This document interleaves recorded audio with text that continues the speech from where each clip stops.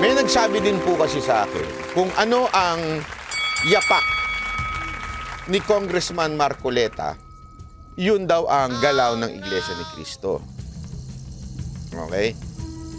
Basta ako ito, meron akong alam. Bakit ko ho alam? Nakasabay ko eh.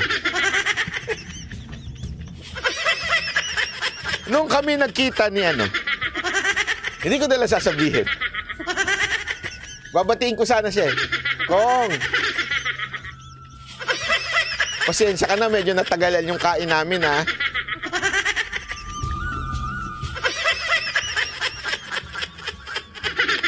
Ah. read between the lines. Okay?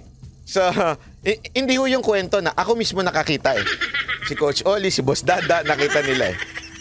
Okay? Boss Dada, huwag kayo madulas-dulas sa mga pasmado yung bibig ha.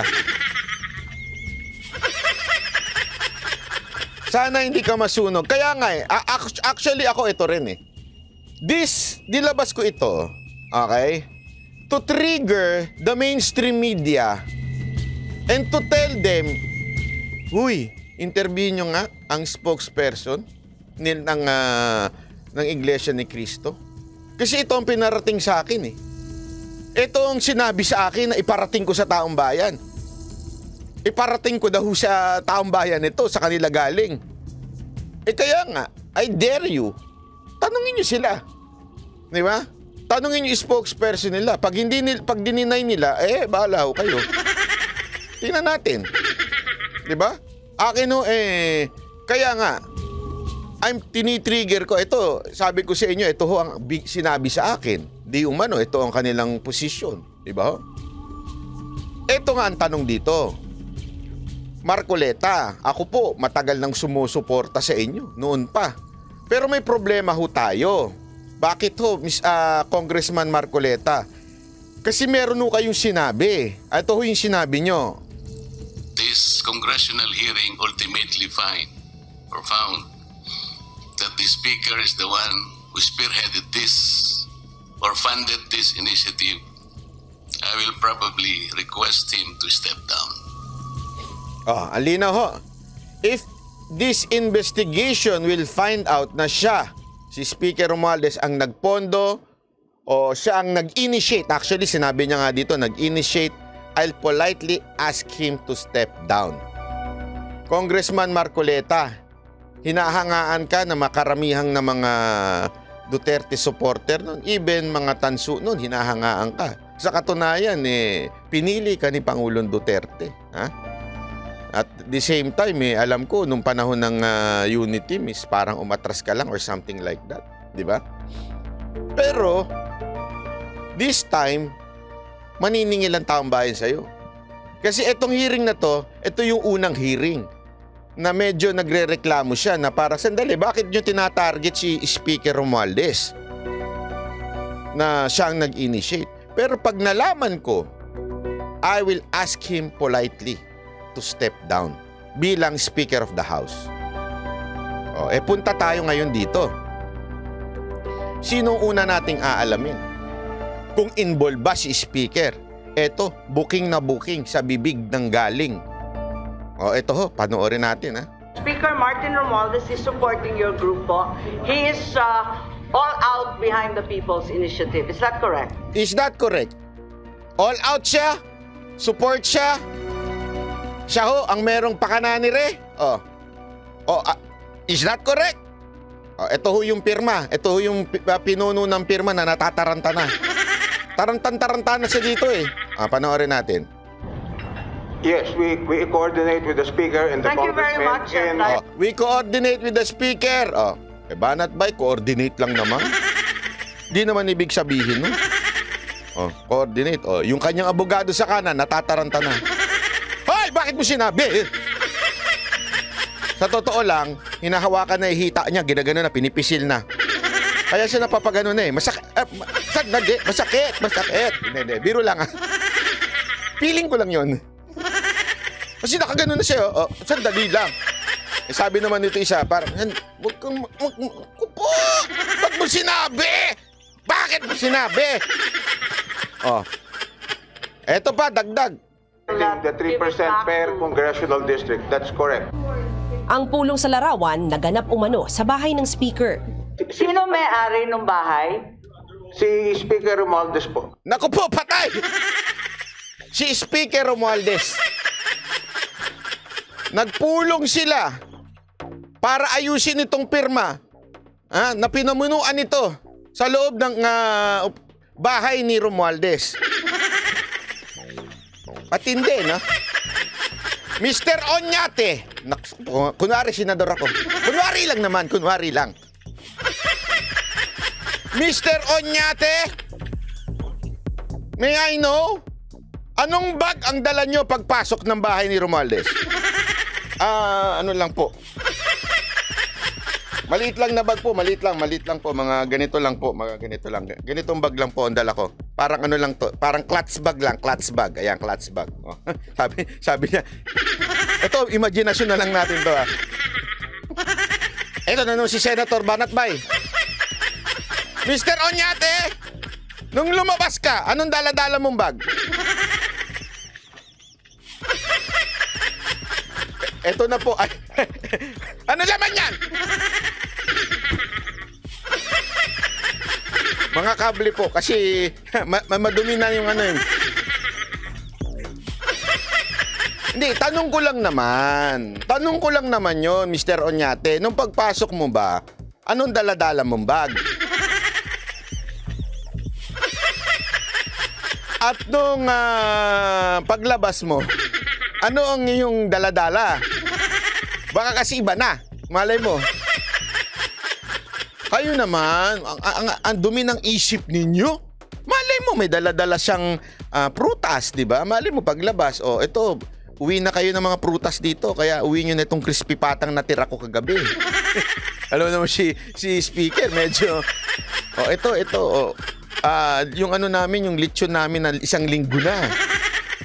Ginawa na namin ano, ano ba yun? Yung, ano ba itong lechon na pagka nagluto ka, ng, nagpalitsyon ka, tapos kinabukasan, buong linggo yun, yun ang kakainin nyo. Oh, yun, malay mo yun ang pinauwi. Ah, di ba? Ah, tuloy natin. Ah, ah ito pa. Bahay ni Speaker Romualdez. Ah. Ah. ganon. So, ang uh, naging host Ayun, lechong paksiw. Doon at nagkumbida ay si Speaker Romualdez. Tama Ako po ba? po ang nagkumbida. Dapat Paano ka magkukumbida? Di mo bahay. Oh, tama nga naman. Oh, paano ka magkukumbida? Hoy, punta tayo sa bahay ni Boss Dada. Ganon. Punta tayo sa bahay ni Coach Oli. Kain tayo doon. So, eto, malinaw pa sa sikat ng araw na merong kinalaman at talagang sa simula, nag-meeting sila saan? Sa bahay. So, ah, Congressman Marcoleta, malinaw ho ito, na sa bahay mismo ni, ni, ni Speaker, nagsibula ang pirma.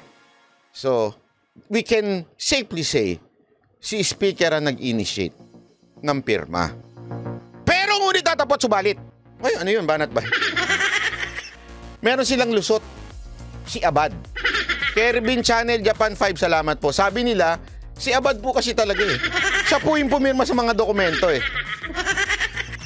Inek Alart, salamat po.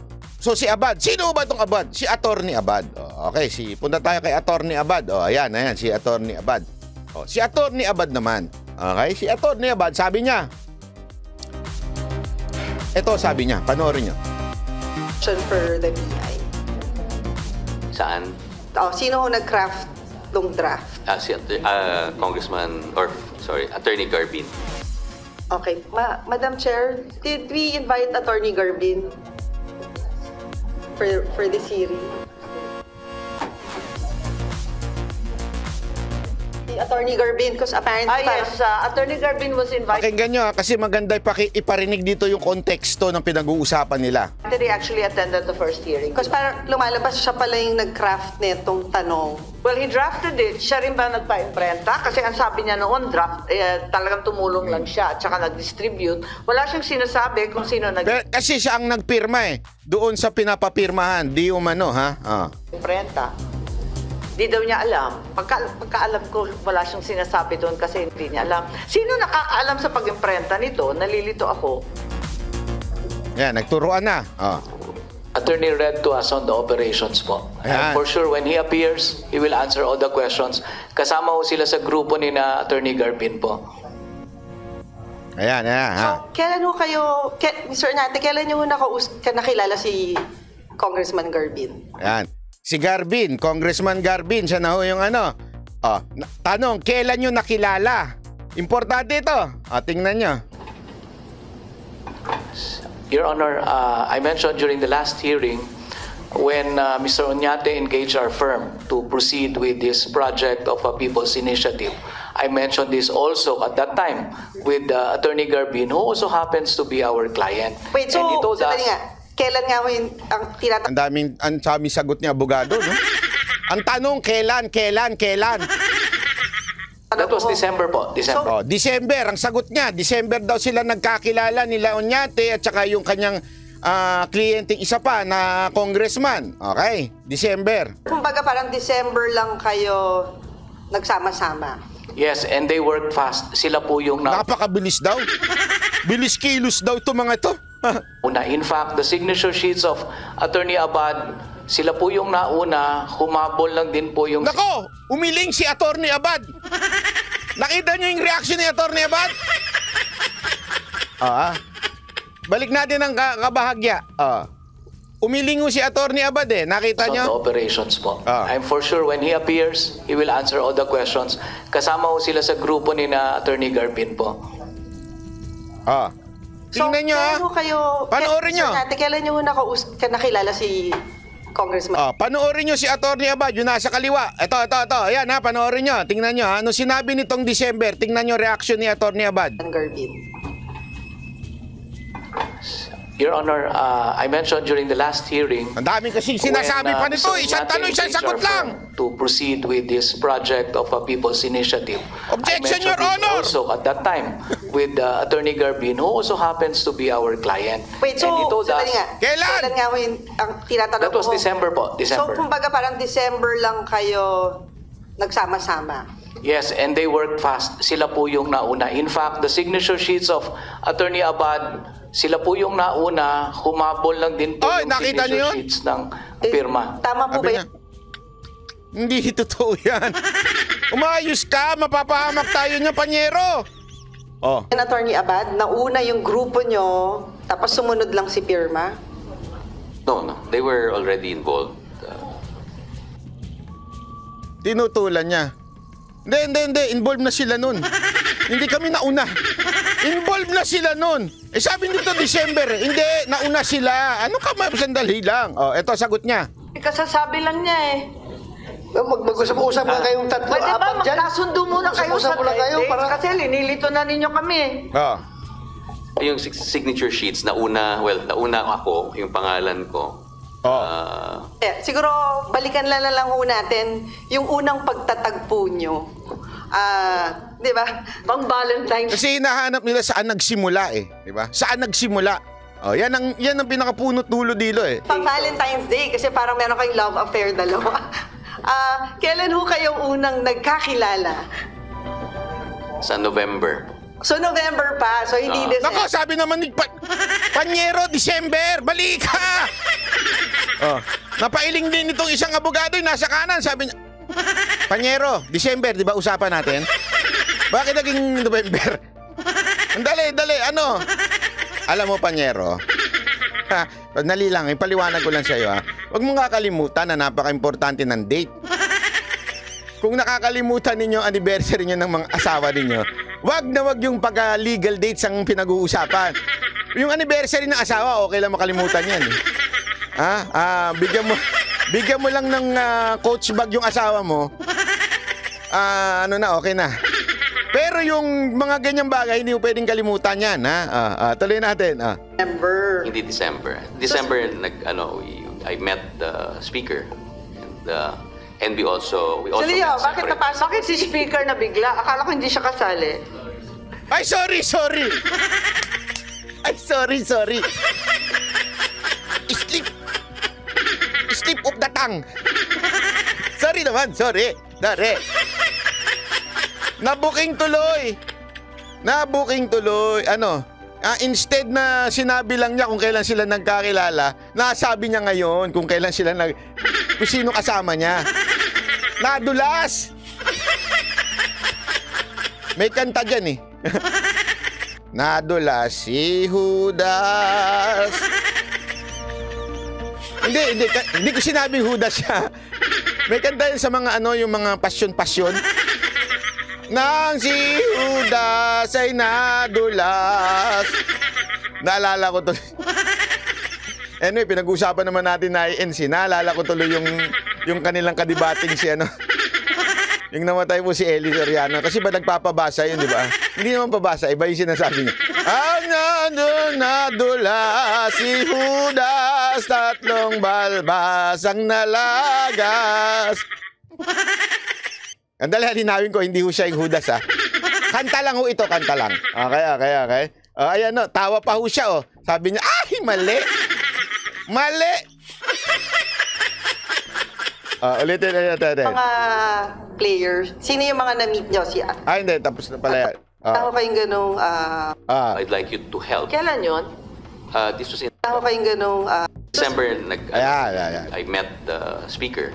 And, uh, and we also... We also So Leo, met bakit separate- napasok? Bakit si speaker na bigla? Akala ko hindi siya kasali. Oh, bakit si speaker na? Nahuli ka sa sarili mong uh, bibig, ha? Nawa ng katuloy ni Bato. Nahuli ka! Sana ganun. Bato next time, pag tatawa kayo, medyo malakas ha. Huli! Huli!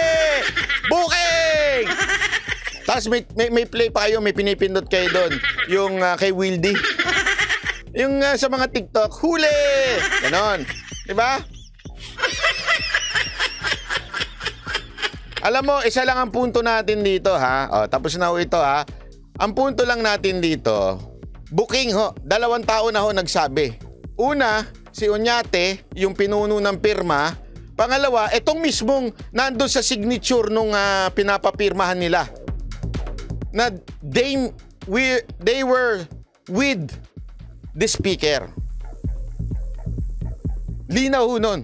Wala na hong makakabura sa kasaysayan yan si speaker ang pasimuno ng pirma. Kaya nga po sa titulo natin eh, di ba? INC is tutol sa hakbang ng HR. Bakit? This is a move. A, masasabi nating proven na move from HOR, House of Representatives. Di ba? Ah, mismo ho, ang kanilang pinuno na si Romualdez, ang pasimuno ho nitong pirma, pirma o yung People's Initiative. Congressman Marculeta, mani- maniningil na po kami. Sa iyong sinabi, ano ba sinabi mo? This congressional hearing Ah. ultimately find Ah, or found that the speaker is the one who spearheaded this or funded this initiative. I will probably request him to step down. ayan. Congressman Marcoleta, meron na tayo na booking. Hindi lang po yan. Congressman Marcoleta, sigurado ako, kayo ho'y may contact sa INC. Okay? Siguro, itanong ho ninyo. Kung sa tingin nyo, talagang medyo mali po ako. Sige ho, aamin po ako, nagkamali ako dahil yung source ko medyo ah, sinunog ako. Pero, kung totoo po, simple lang gawin nyo. Tumayo, tumindig po kayo dyan sa kamera at sabihin ninyong, Mr. Speaker, it's time to go. Wala ka ng credibility. Yun lamang po, ah, Congressman Marcoleta. I hope, eh, gawin mo yan para sa bayan. Pag ginawa mo yan para sa bayan, Congressman Marcoleta, maniwala kayo, hahanga ang taong bayan sa inyo. Pero pag hindi nyo ginawa yan, ikalulubog nyo na yan. Sisiguraduhin ko.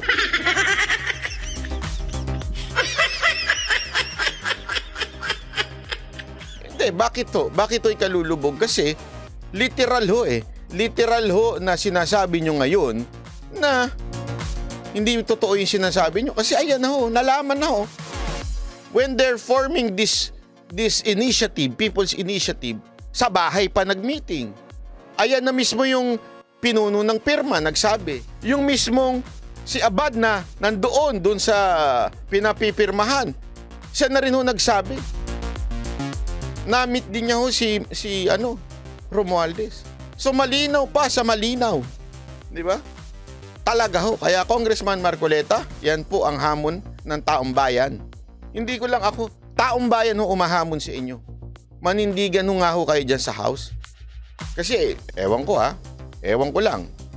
Kung malakas ang loob ninyo. Kasi ako, marami na tayo nakitang malakas ang loob na hinamon na mag-step down si speaker. Nandyan na ho, una-una, si Tebes ang una dyan. Oh, di ba? Pangalawa ho, si, si Congressman Pulong, nagsalita na rin. Oh. Eh, kayo ho, magsasalita ho ba kayo? O takot kayo matanggal? Katulad ho ni Tebes. O takot kayo makancel na katulad din ho ni Pulong. Di ba? Kayo, nasa inyo ho yan. Taong bayan ang huhusga sa inyo. Maraming salamat po. Ako po si Banat Bay.